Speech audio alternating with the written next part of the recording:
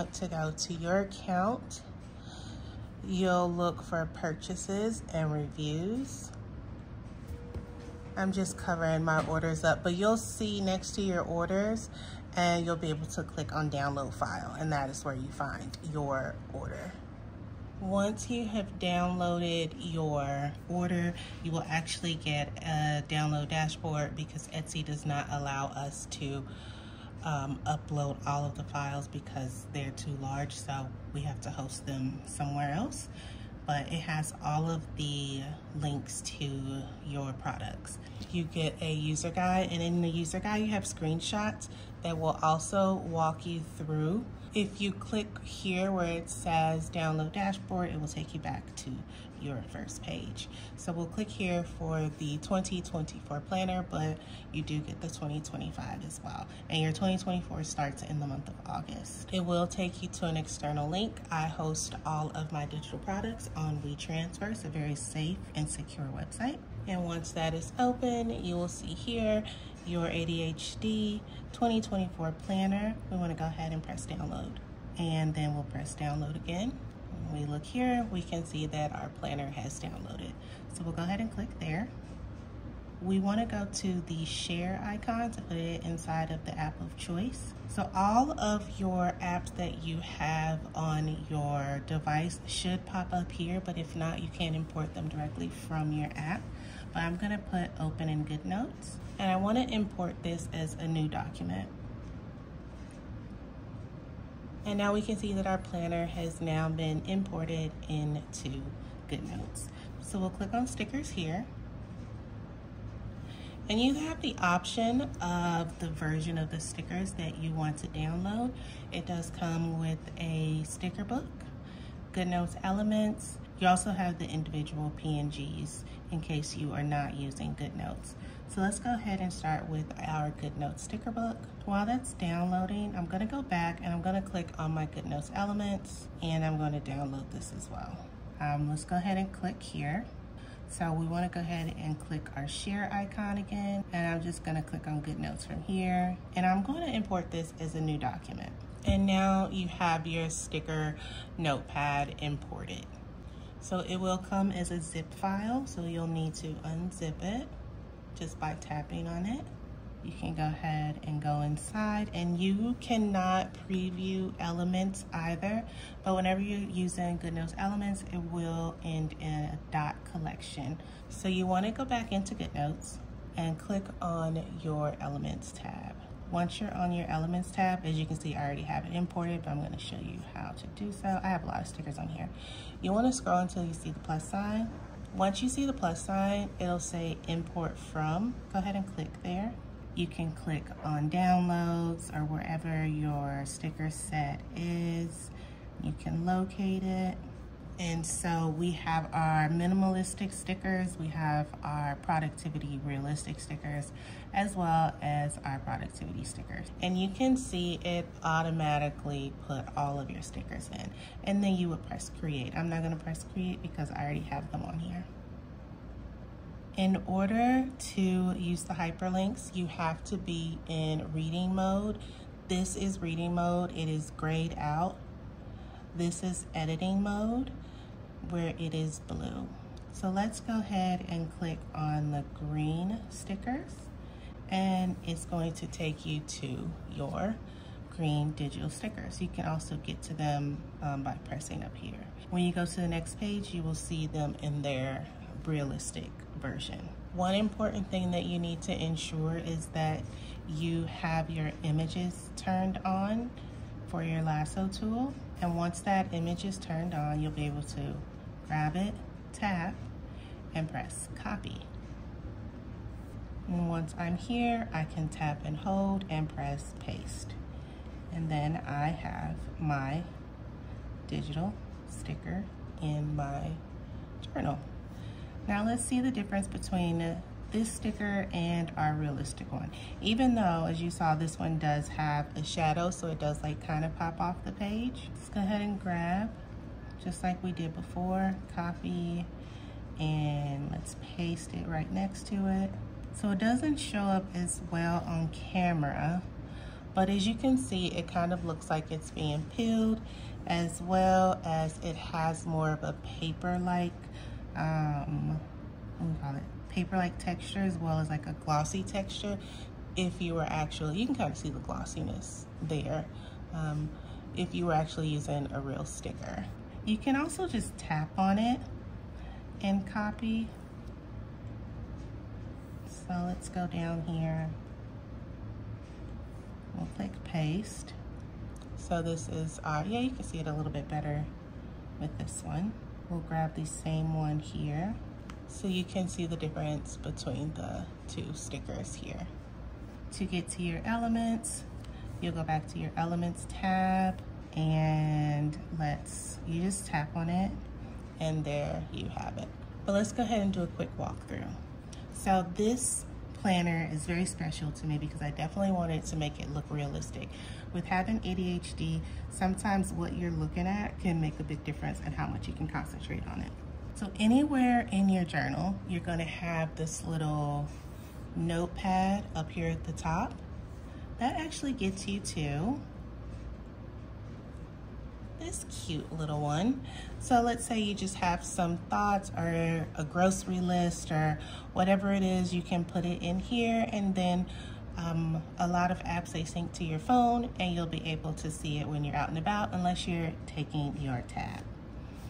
And from this page, you see you have this notebook here that gets you back to your planner.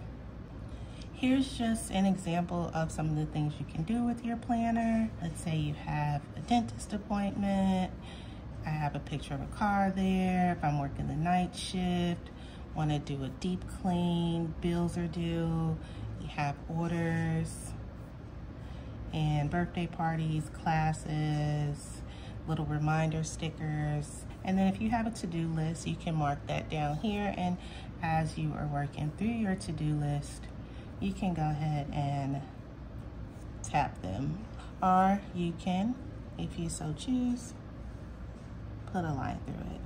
We have this little note section down here where you can just put whatever you need to remember in your note section.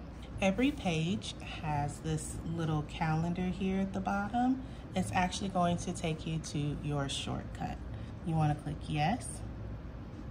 It's gonna go away and it's gonna come back and it'll ask you, do you want to add an event to your Apple calendar, add a new event to your Google calendar, or add a new reminder. Let's say you want to add it to your Apple calendar and you click there and you can add it right here. I'm done here. Now you can pick your day and then we can pick our time and then you click done. I really wanted to keep this planner as simple as possible. I did not want to make it complicated because my whole motto is ADHD is complicated enough. Let's keep our planning nice and simple. I'm gonna put the 12th and then I believe that was, um, just gonna put friend's birthday. And then I'll put January 12th. And if you want, you can add some stickers here as well. Make it super cute. And you can do that for the whole year as you go along. Your first set is the first six months. When you tap over, you get to the following six months. Up top, you can get to all of your months. So we have March, April, May, June, July, and so forth. And you can get to that from every page. Along the side here is your weeks. So I'll give you an example of what I did for January, Let's click week two. Put in some little stickers here as a reminder. Um, added um, a line to show which month, I mean which week it is, along with my weekly task because we always forget. These are things like a little task list and these are, you can put your top priorities and you can just put one or you can put um, 10, 15, whatever you need to put. My top priority for that week might be housework. So the dates along the side will get you to each day in the calendar. And then in the calendar where you see the week underneath, that's where you can tap to get to that particular week. If you want to get back to your calendar at any time, you can tap here. If you are in July, it will take July through December, it will actually take you to the one for July through December. It won't take you to the first one. I'm always forgetting my login, so this is a place where you can put your login information. If you have more logins, you can always add a page. In order to add a page, what you'll do is you have these three dots here. You wanna click there and you click copy page. And then you'll click the piece of paper with the plus and you can click paste page. You have your routine planner. We all know with ADHD, we often forget the things that we need to do. So you might not have to do everything on each day. Let's say you only have class three days a week. You can just mark for those three days that you have to do it. You also have your subscription tracker. I don't know about you, but I'm constantly subscribing to stuff and I will forget. I know I'm I know I'm subscribed to like way more than that. And then you have your vision board. I love having a vision board. And then we get to our notes. You have lined, you have a grid, you have dotted, doesn't show up as well on camera. And then you have blank. Each page has adaptable planning on the bottom. You'll tap here and it will close your planner in order to use the shortcut for the calendar and reminder, you will have to set up your shortcut integration. In your settings, you want to go to shortcuts. In shortcuts, you want to ensure that private sharing is on. Once you finish setting up your shortcut, you do not need to leave private sharing on. You can come back in and turn it off. So we'll click on Set up Shortcut Integration open this here and it'll say adaptable calendar. We'll do setup shortcut. You can say which app are you using. I have mine set up for GoodNotes, but you can actually pick whichever app that you use. For instance, if you're using Notability, you would click on Notability and then it says add shortcut. Now I already have mine on here, so I'm just gonna cancel this if you're using Notability, you want to long press on new and then press on import. And we're going to find it in our file. And then go ahead and press open. And we are creating this as a new note. Go ahead and import. And now we have it imported into Notability. In order to use your stickers, we're gonna use split screen locate our stickers and then you will long press, drag, and drop. When you tap on this image, you can make it to the size that you desire. You can also create a new document. You won't you don't want to long tap, you just want to press on it. And we're going to press and hold and we'll do this with a couple of stickers. So using your lasso tool, you can grab the sticker, tap on it and press copy. Go back into your planner, long press and paste. So now you have your sticker in your journal. So